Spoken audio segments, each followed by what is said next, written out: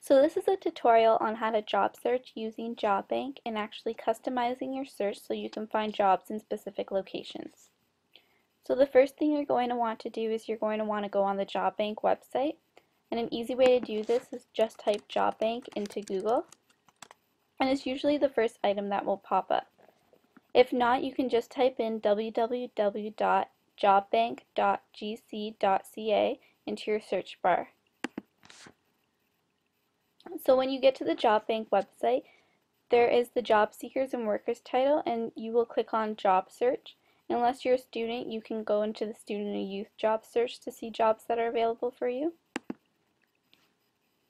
And it asks where you live, so this is where you'll choose the province that you live in and that you want to find a job at. So this is the page where you'll actually customize your job search a bit more.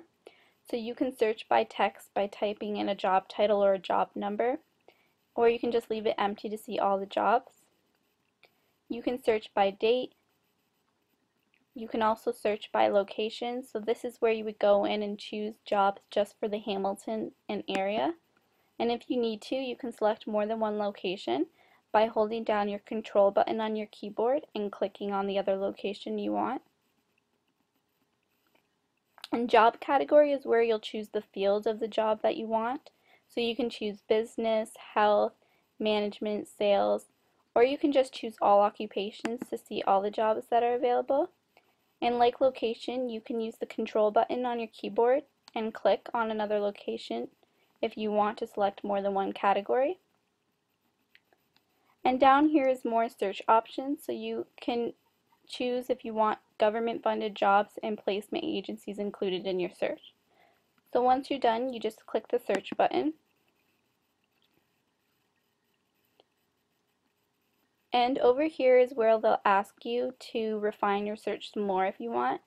As you see, I have Hamilton in area chosen, but I have the option to choose if I just want to see jobs in Hamilton downtown or Hamilton East, Stoney Creek, Hamilton Mountain, or Ancaster. So you can click on one and just click refine and then the page will refresh and show you jobs that match your query. So here, let's check out the day camp counselor job. So it'll bring you to a page where it tells you about the job and your skills that are required and salary and such and your anticipated start date.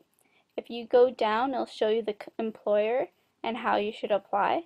And JobBank recommends that you only apply to the job in the manner specified by the employer.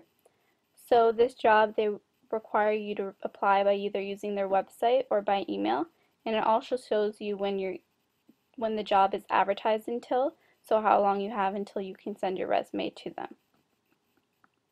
So that's how you would search for a job using JobBank and customizing your location. If you have any questions, feel free to ask Path Employment Services for more help.